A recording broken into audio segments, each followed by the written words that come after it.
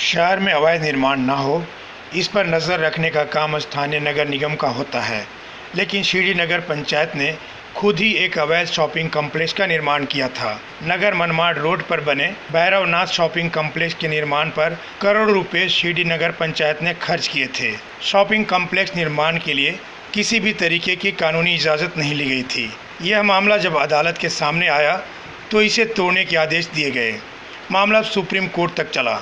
लेकिन supreme court ने भी निचली अदालतों का फैसला कायम रखते हुए निर्माण पर तोड़ा कार्रवाई के आदेश दिए।